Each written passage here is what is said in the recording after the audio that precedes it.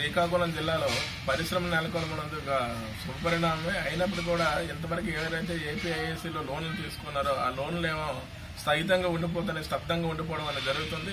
లోన్లు తీసుకునే వాళ్ళు ఏం చేస్తున్న బినామీ పేర్ల మీద లోన్లు తీసుకుని బడాబాబులు అన్యాక్రాంతం అనేది చేయడం అనేది జరుగుతుంది. దీనిపైన సరైన నియంత్రణ లేనందువలన ఈ విధంగా జరుగుతుంది. ఎందుకంటే దానివలన శ్రీకాకుళం జిల్లాలో ఎవరికైతే పరిశ్రమల్లో పనిచేయాలో అలాంటి ఉపాధి కార్మికులకి ఉపాధి ఉండట్లేదు. దాని ద్వారా ఉపాధి వలసలు అనేవి జరుగుతున్నాయి. దీన్ని నియంత్రించాలంటే సరైన నియంత్రణ చర్యలన్నీ చేపట్టాలి.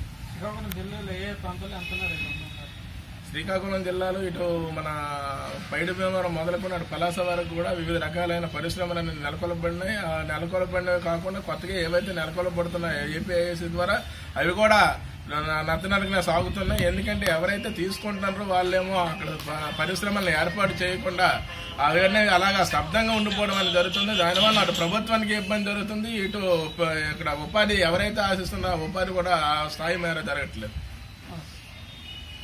Mm-hmm.